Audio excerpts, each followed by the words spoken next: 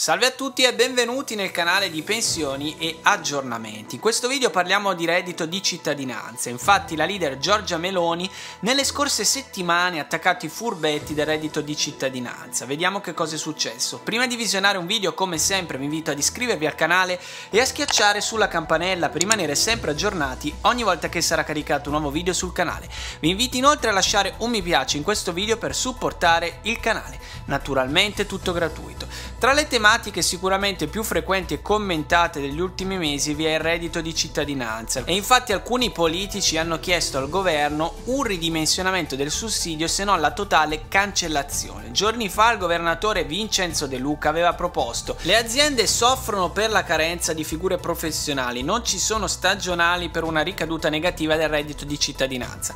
Chi ha il reddito di cittadinanza deve dare la propria disponibilità a fare lavori stagionali con un incremento di 500 euro. A supporto di De Luca vi è anche Giorgia Meloni, infatti la leader di Fratelli d'Italia ha scritto un commento sul suo profilo ufficiale Facebook correlato ai percettori del reddito di cittadinanza dicendo ancora scandali legati al reddito di cittadinanza. Napoli e Vicenza sono stati scovati numerosi soggetti che percepivano indebitamente il reddito di cittadinanza. Uno di loro era pure detenuto. Basta assistenzialismo e politiche scellerate. L'Italia ha bisogno di lavoro, non di marchette elettorali, scrive la Meloni. Lo scorso aprile la Meloni aveva dichiarato di voler abolire il reddito di cittadinanza, quello di emergenza, il cashback e la lotteria degli scontrini.